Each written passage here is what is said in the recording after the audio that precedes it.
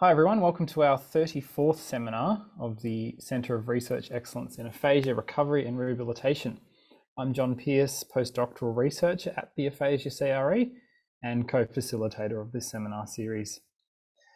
First of all, I'd like to acknowledge that this event and our many of our participants are located on the lands of traditional custodians in Australia.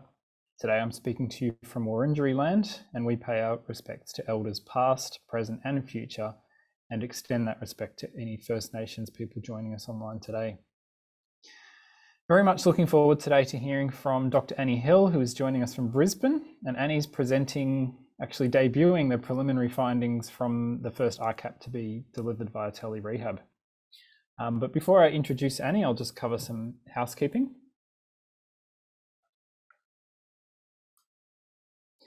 If you haven't already done so, please join us as a member of the Aphasia CRE community of practice. Uh, we welcome people with aphasia or their family, friends, health professionals, researchers, and organisations. And benefits to members include a regular newsletter, updates about events, activities, contributions to research, networking opportunities, and more. And the CRE is always looking for financial support, so if you wish to donate, please see our website for details. Please note that this seminar is being recorded and you can find this and other videos on the Aphasia CRE website. You just click on our resources tab. And while you're there, there are lots of other helpful resources related to aphasia. Now, during today's recording, we may be editing out some of the videos that include participants with aphasia. So if you are watching this as a recording, you might just notice a, a jump in places where those videos are edited out. You can connect with the CRE on social media via Twitter and Facebook, and you're welcome today to tweet along um, as Annie presents and use the hashtag AphasiaCRE. Now, hopefully this seminar will spark lots of questions and you can write your questions in the Q&A function on the Zoom toolbar at the bottom of the screen. Uh, please don't use the chat box for questions because I won't see them there. Um, you can enter your question for Dr. Hill at any time throughout the presentation. You don't need to wait until the end. And you'll be able to see the questions from other audience members and like or upvote a question if uh, it's of interest to you. Um, at the end of the presentation, Dr. Hill will answer as many questions as time allows. Um, and we just ask that you reserve that Q&A space for questions only. Um, keep them brief and, and please don't make comments in the Q&A box. Okay, it's now my privilege to introduce Dr. Annie Hill. Dr. Hill is a speech pathologist and the Senior Conjoint Research Fellow between the School of Health and Rehabilitation Sciences at the University of Queensland and the Surgical Treatment and Rehabilitation Services STARS in Metro North Health in Brisbane, Queensland.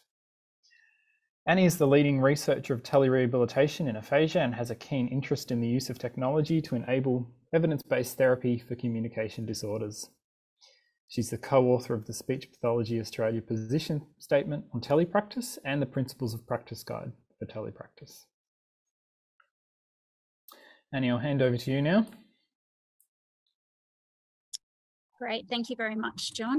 I'll just share my screen. Okay, so thank you all very much. Um, this is a very busy screen, I know, but I just wanted to um, I guess, hi highlight all of the various um, centres that I have been part of over the years, um, all of which has contributed to the work that I'm going to be talking about today. So um, I'd also like to acknowledge the extensive research team that we have. Right. Now it's working. Okay. Lovely. Okay. so what is tele tele telechat? So telechat is an i is an ICAP delivered via via tele. And I'm using this lovely diagram by Miranda um, for those who perhaps don't know what an I cap is. but it's a therapy that involves multiple goals and approaches. It's delivered in a high intensity and it's for a certain length of time. Now we know from the from some recent work that there's many of these types of therapies being delivered around the world, but they all have different lengths of time and are made up of different types of therapy. So what is the therapy that telechat is developed from? Well, it's called CHAT, which stands for Comprehensive High Dose Aphasia treat Treatment.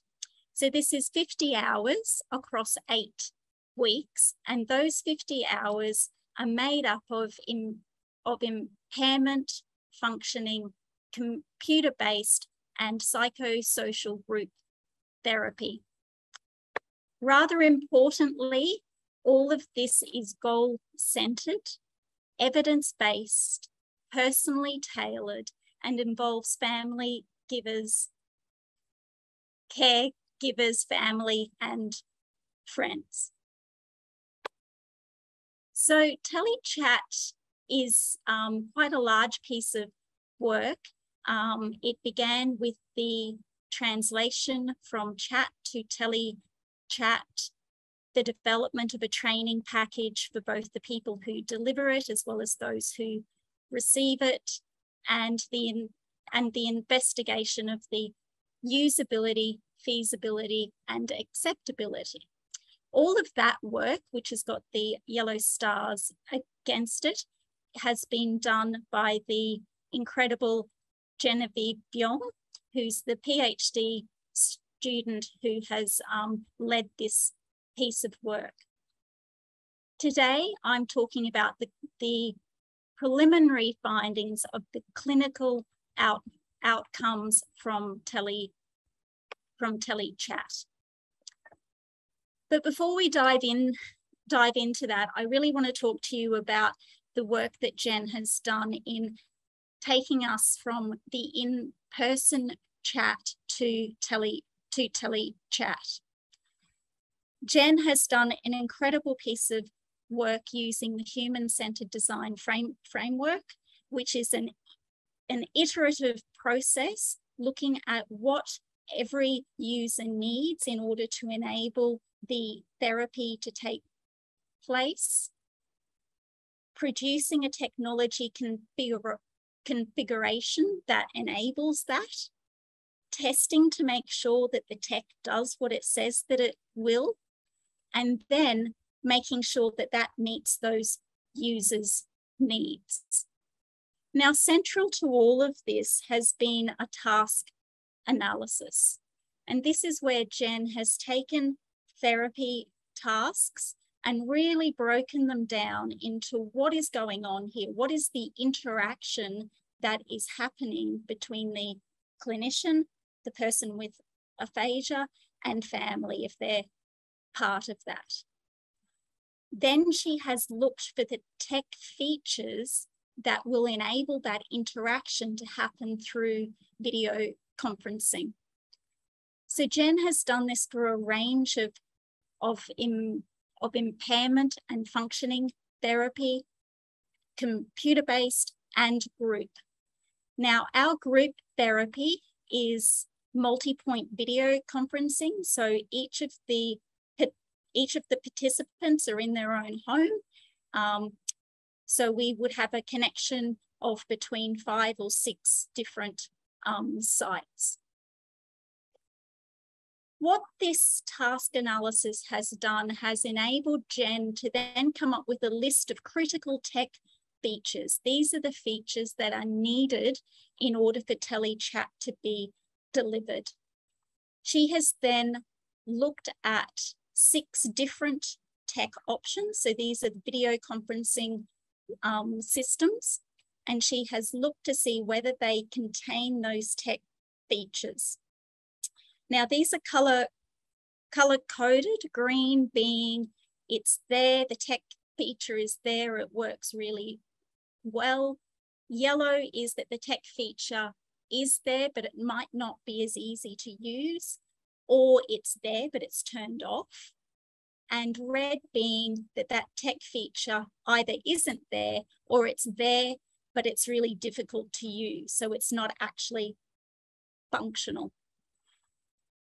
So Jen did this for a range of tech features that she felt were critical and then some that she thought would be really nice to have. And that's what these, um, these yellow ones are down here. she then looked at whether these options were available or what their, their cost is. Now, this is the piece of work that will change over time. So this work is now about 18 months old.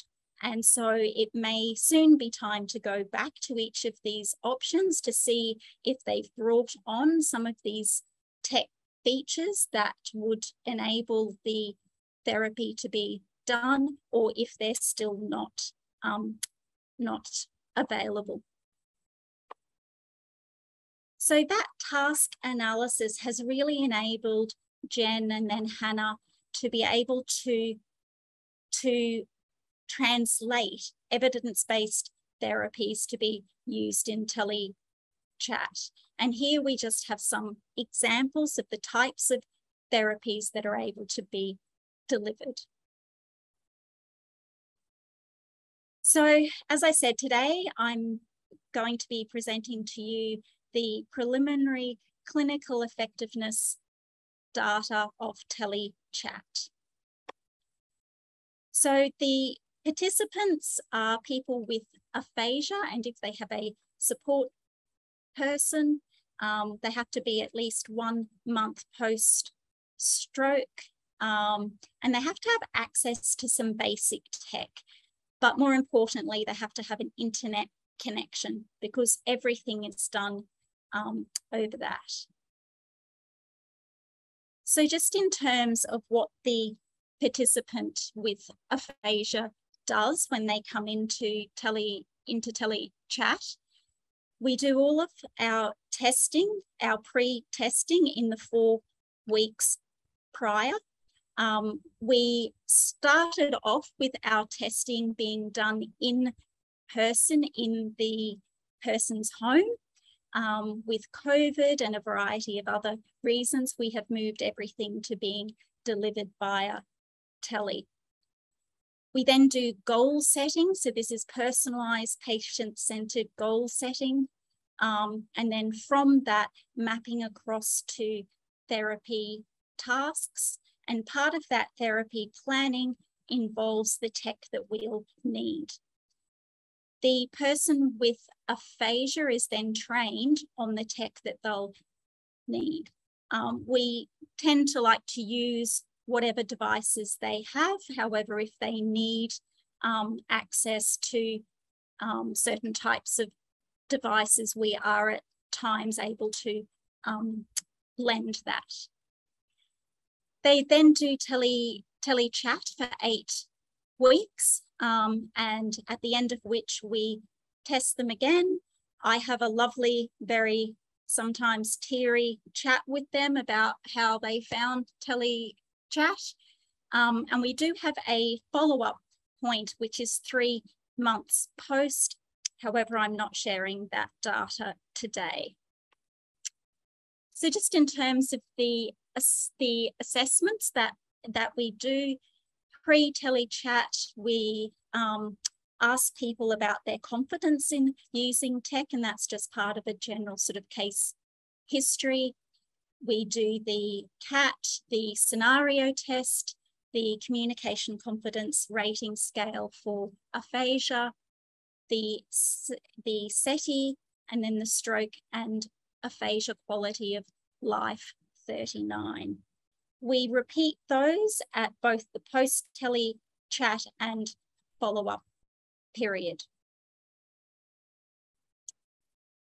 I just wanted to share with you and those of you who were at the clinical forum that was presented last week will have seen this, but this is just a really nice um, a really nice table that shows you how we move from goal setting through to therapy planning, through to the technology that's needed to actually deliver that therapy.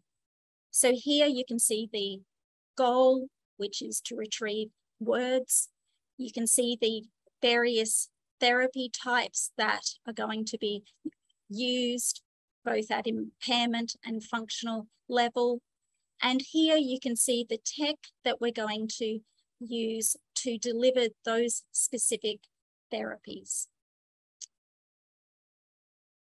Here is another goal, um, and this is a slightly different, different um, goal in that it was to write birthday cards.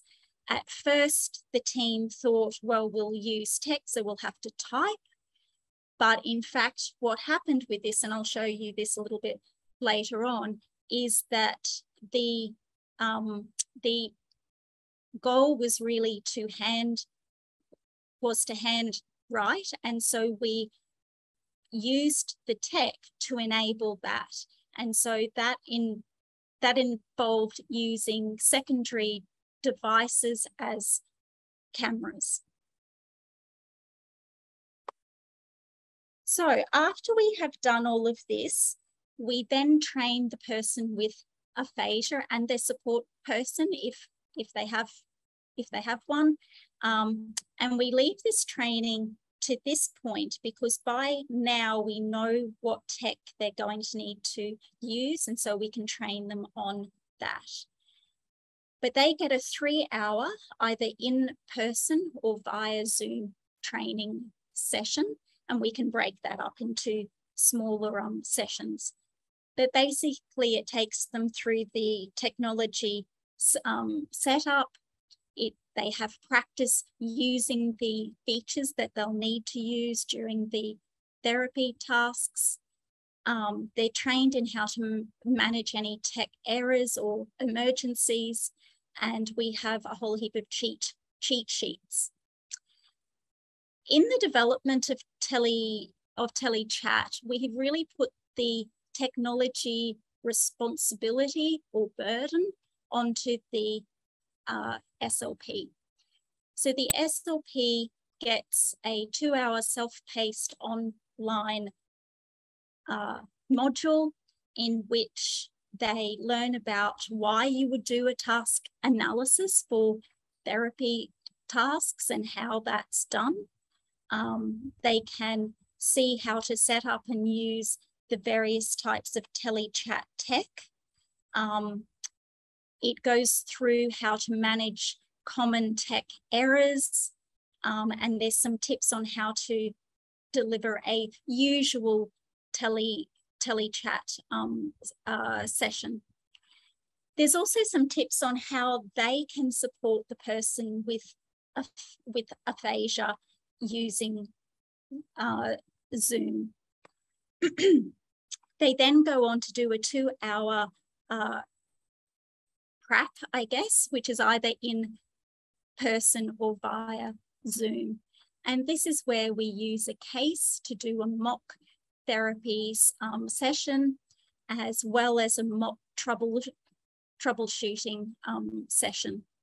And there's lots of practice using various Zoom features. And rather importantly, we have a Q&A um, session where they can say, I'm having difficulty doing such and such, and the trainer is able to talk them through that. So on to the results. These are our first 16.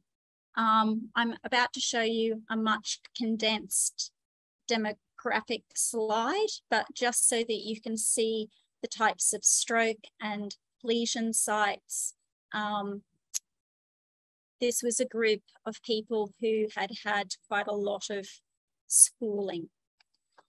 But our first 16, um, six women and 10 men, a mean age of 62 years, but a very broad range from 24 to 81.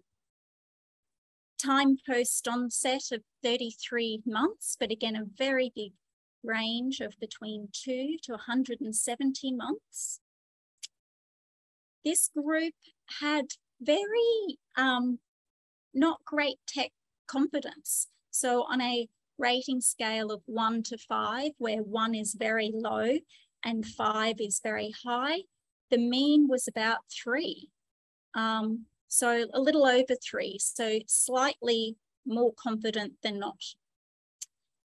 Of these 16, 14 support people were part of this. Um, and I guess the interesting thing about this group is that only four of those people had ever used telehealth before, but 12 of them had used video conferencing. So that's probably something like face, face, FaceTime or something like that. From our map, you can see that we have been treating people down the east coast, including in Victoria, Tasmania, and New South Wales. Um, so that's why our transition across to doing all of our testing via via tele was so was so critical. Um, and so there are people who have been part of this that we've never met in person.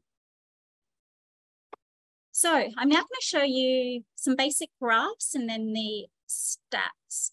So this is the comprehensive aphasia test. These are the total modality scores for the first six, 16. Um, you can see that everyone bar the two that are starred have made some sort of gain. Um, just take a note of who these couple of people are. This is number four, number 11. Um, and then if we look at the communication confidence rating scale for aphasia, we can see that most people are rating themselves as feeling more com confident, except for a couple. Again, number four, and this time number 13 here. If we look at our quality of life measure, we can see again that most people are, re are reporting again, except for a few. Again, number four here, number 13 again, and this time number 15.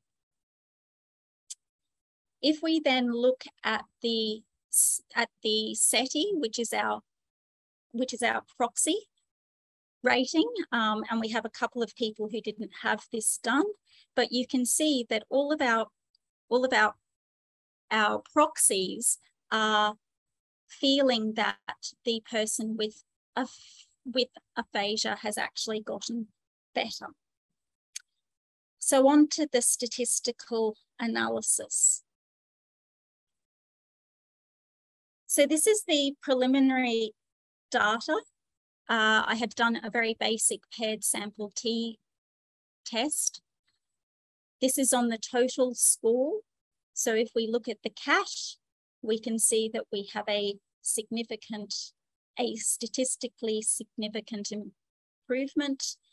And we have that for all of the other measures as well. The effect sizes are rather large even with a correction, they're still, they're still very large. Now the CETI and SAQOL data was not normal. We had quite a few outliers.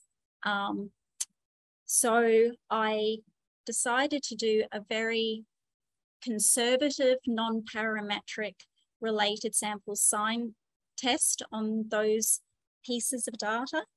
And as you can see here, we're still getting a statistically significant result. I then wanted to delve a little bit deeper into the CAT. Um, so I have done a paired sample T, T test on each of the sub, the sub tests. And as you can see, we have statistically significant results for all of the sub all of the subtests bar writing.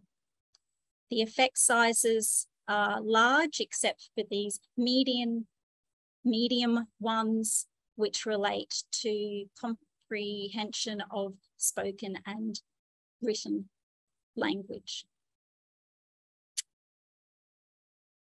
So, TeleChat is the first ICAP to be delivered fully via Tele, and our preliminary data on the first 16 is, in, is encouraging with statistically significant improvements across the totals, the total scores on a standardized language measure, a self a self-reported communication confidence me measure, self self-reported quality of life, and our proxy ratings of language. So this is great. And this is kind of in line with what we're seeing from some other uh, work being done. Um, the Queen Square, I, ICAP, and Chat in Stars. So what are the factors that might be bringing about these positive, these positive results? Well, the first thing I think is that Genevieve Vuong has done a highly sophisticated translation of chat into tele, chat. I think her very thorough task analysis and using the human-centered design um, system has enabled the translation of a large number of evidence-based therapies to be delivered via tele. The iterative nature of this has allowed the team to refine the tech that's being used and to come up with different solutions when faced with a, with a new challenging goal. I also think that it re has really helped that we've been able to use Zoom, which currently is the most flexible and easy to use of video conferencing systems. The other factor I think is that the training, and I think it's the thorough task analysis that has led to really great training. Um, the fact that the clinicians are trained in the tech features and they get to practice the trouble, you know, the troubleshooting, the training of the participants and their support people, and the fact that that training is really tailored to what their needs are. Some other factors I think are the design of our actual telechat service, I guess. And I guess we're able to do this in a more flexible way because we're not doing it within a health service. So we're able to just do four participants per group.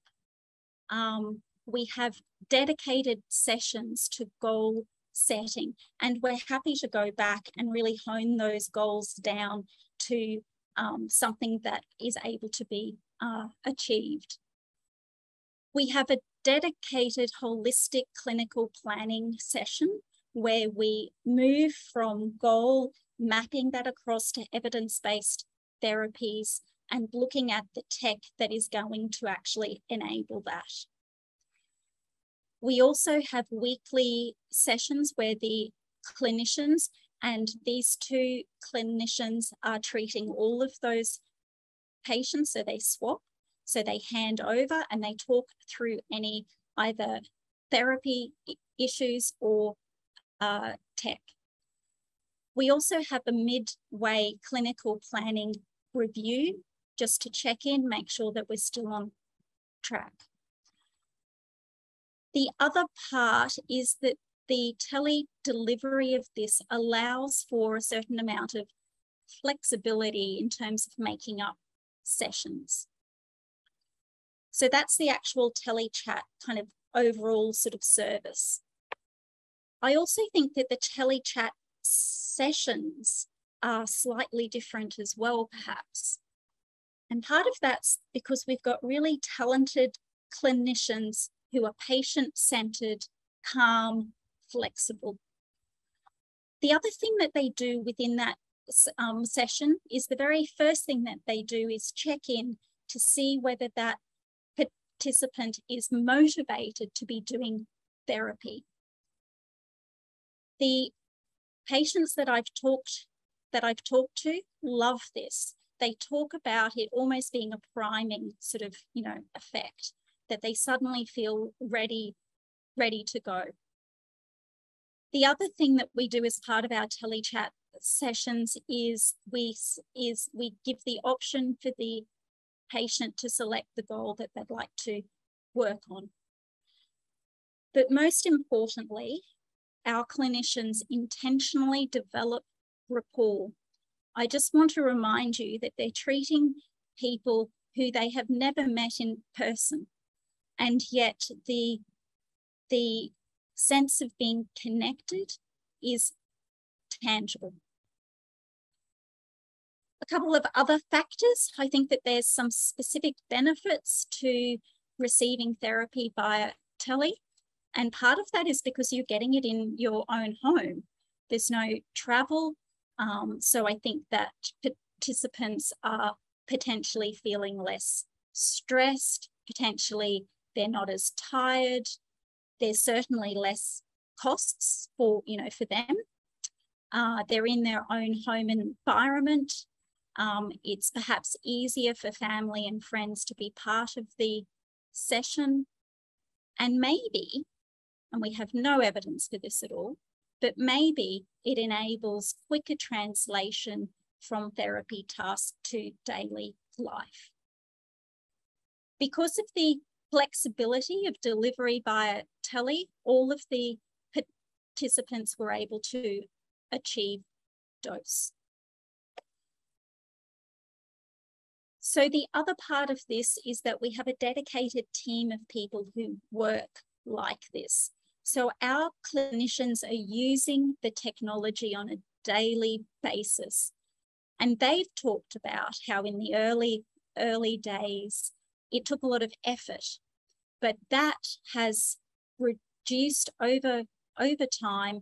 And now they can focus much more on the clinical part of their job. So a couple of limitations. Um, this is a very small sample, 16 only.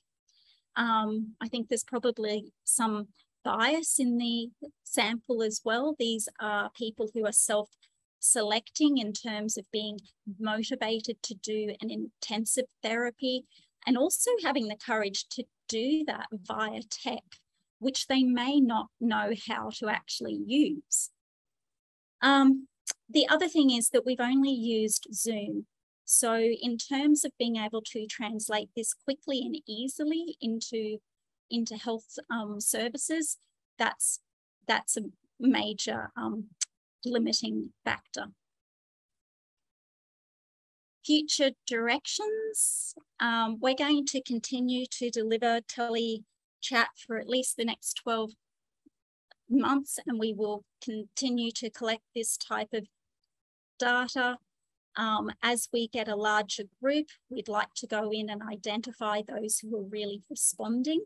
And if there are any factors that we think might be um, leading to that, I'm very keen to compare the telechat data with the chat in person data um, so that we can say that telechat is not inferior to the in-person version. Um, Jen is has all of her data now and is currently writing that up. So um, that will all be out soon. We also have um, a new intervention called Chat, Main, Chat Maintain, which is being led by Dr. Jess Campbell. And this follows on from chat and telechat uh, to guide the person with aphasia to maintain their gains and to, and to move towards self-management. And that's all tech uh, enabled.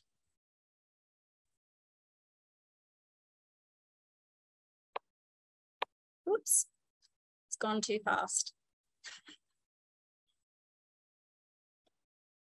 Uh, so I guess the next piece of work that I'd like to move to is looking at what we need to do to get tele telechat into health services and or private practice or other um, uh, settings. So we need to look at what the barriers and enablers are.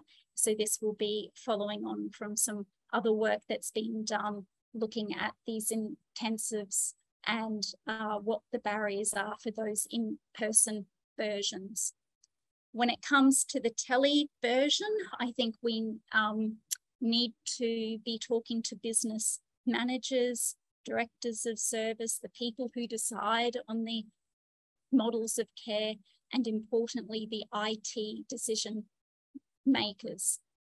Because we really need to have the right tech available to the end users. Uh, TeleChat is part of a NHMRC partnership grant, which looks to put chat into various health um, services. And what was quite pleasing was that those health services had actually asked if there could be parts of chat that were delivered via tele. So that's great that people are keen to move to this model of care. Um, so I'd just like to acknowledge the, the funding that we've had for the telechat work, which has come from the Queensland Aphasia Re Research Centre and the University of, Queen of Queensland.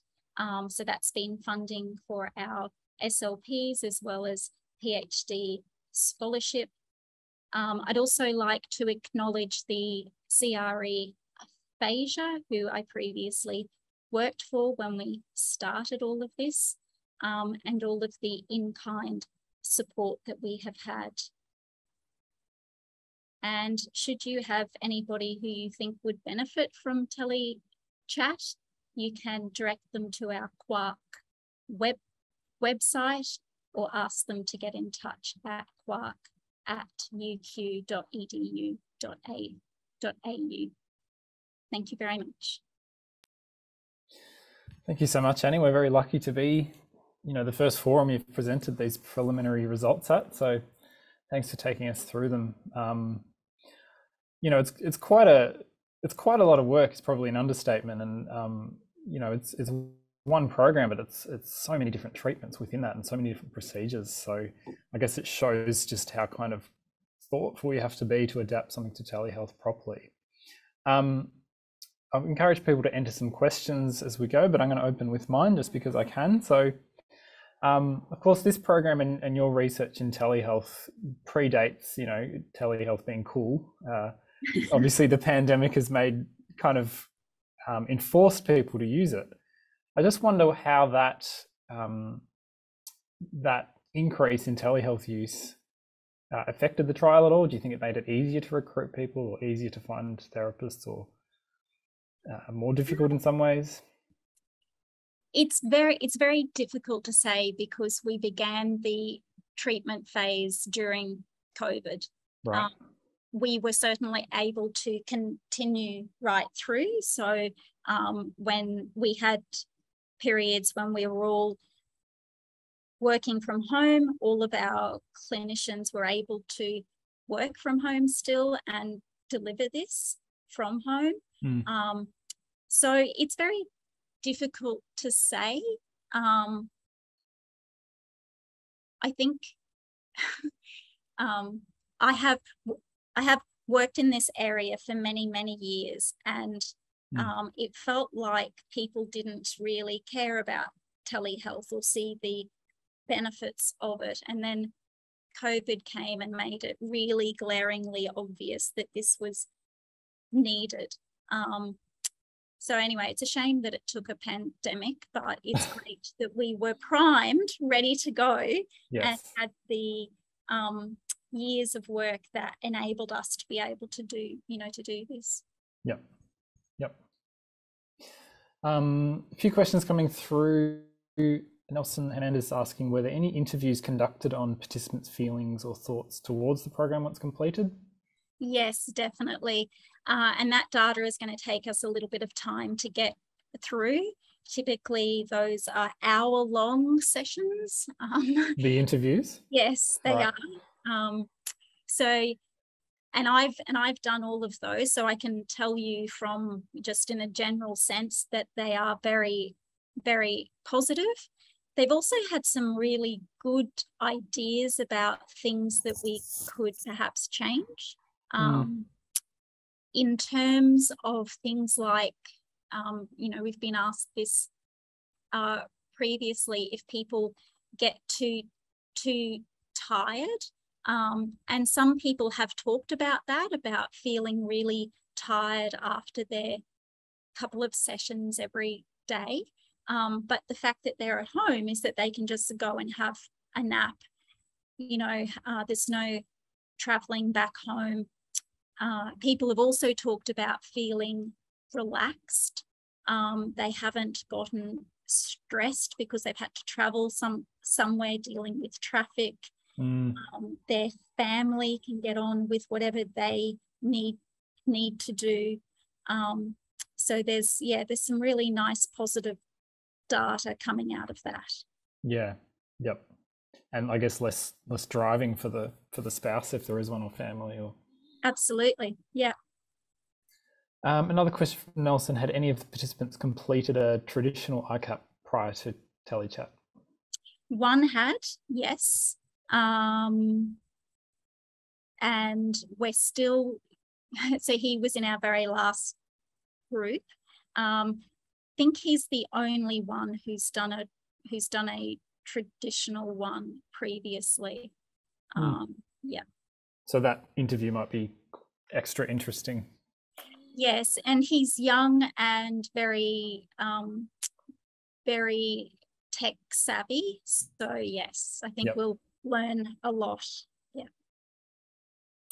Um, Kathleen Mellon's asking, do you think the initial do you think the initial three hours of pre-telechat training for the people with aphasia could occur 100% online? Um, yes, I think it did. Is that right? Some some of it some of it does. Yes. Um, yep. So yeah, so those people who are quite remote from us, absolutely everything is done via Zoom. Yep. And if if they can't get onto Zoom in the first instance, is that a phone call or? Yeah, definitely. So um, the other thing that Jen has done is a beautiful risk analysis with a risk plan. Uh, so yes, we know exactly who who, who to call. Um, we always talk to people first on the phone and then mm. kind of scale it up from that, I guess, through to Zoom. Um, and if they're having difficulties getting on getting onto Zoom, then we're on on the phone. A big hint, um, which Jen and Hannah talked about last week, was it really helps if you, as the clinician know what the person with aphasia is seeing at their end and it's mm. slightly different. So when mm. you're delivering therapy to them they're going to have a slightly different view. So you need to build in some time practicing being the patient end as well. Yep. I, I know i've been telling someone you know press the green button but on a on a ipad it's not visible unless you press something else um, Regina Fitzpatrick's asking, could you please elaborate on the motivation check-in? What questions were asked of clients? That's a rating scale of one, one to five, just how motivated they are to do therapy for that particular um, session. Mm-hmm. That's all it is. It's nothing else. Um, but patients have at least talked with me about the fact that they really liked that. Um, I think it also opens the door to a bit more of that rapport building type chat as well. So, you know, if someone's saying if they rate themselves as a three or a two, then you're not just going to leave it at that. You might ask why and kind of delve in a bit, you know, a little bit yep. more. Um, so, yeah, I think that that is, um, and I'm sure that that's done in loads of other therapy therapy types. I just think that when you are remote from the patient and you potentially are not going to be getting all of the, you know, the body language mm. cues, you need to intentionally be asking things like like that. Yeah. Yeah. And if they're sitting in a, a dark room or something, you're getting even, even less information. Yeah. Um, Nelson asks whether there are any common factors in participants that didn't show improvement. We haven't looked at that yet. That will be our very next phase of yep. the data uh, analysis. Yeah. Caterina Breitenstein said, Thank you for an inspiring talk. Do you have an estimate how much therapy time had to be allocated to solving tech problems, which presumably did occur? Yes, indeed. Um, so Jen has been um, has been presenting this data on the first 12 and the average is less than two minutes per um, session. So that's, you know, an average. There were some people where they had more. Um, and often that, I believe, was due to where they lived, um, the and it's usually the connection, whether or not they have a stable, high speed uh, connection. Some people have been doing this off their phone, not in terms of the actual the therapy, but doing it through their phone data. Mm. Um, we've had people living in car caravans. Um, so sometimes if it's very wet, that's not ideal for a connection. Mm -hmm. So mm-hmm. there's all of these other factors. Um, but yeah, it we've had, I guess, surprisingly few issues. Yeah, two minutes is quite good. I mean, we've had more than two minutes of problems today in our seminar. So, um, I'm wondering. I know you did touch on this, but how how easily do you think this could be ported onto other, you know, video conferencing platforms? Uh, you, you said that they they're changing over time with what they offer, but but are there any that you think are good candidates or yeah, so this is um, so this is a piece of work that is being pushed, um, was certainly being pushed up here, and not just by us, but there's many people who are asking our health service who have their own telehealth portal to please build in the features that you know that mm. we um, need, and they're very open to doing that. It's just going to take time. Yep. Um, so as I said, I think I think we're we're pretty much at a point where we probably need to go back and review all of those options and see if there's anything new and what tech features it has available um, and and or continue to look at other ways to use zoom in a more secure manner if that's what the issue is. Yep Okay, Regina has also asked, uh, she's mistakenly missed the start of the session. Can she see the full session recording? Yes, Regina, I'm glad you asked. We, the full recording will be available within a few weeks on the Aphasia CRE resources page. So um, you can jump on there and watch that. All right, well, thank you very much, Annie, for sharing today. As I said, it's, it's a real honor to hear those results before anyone else. Oh, that's not the screen you want to see. Um, thanks, thanks very much to all of you for the chance to um, share them. Pleasure. And uh, next seminar will be Dr. Willemijn Doedens, who'll be presenting on everyday communication in aphasia rehabilitation. And that's scheduled for the 14th of September. So um, if you want to hear the details of that, make sure you're signed up to our community of practice. Thanks once again, Annie. Thank you.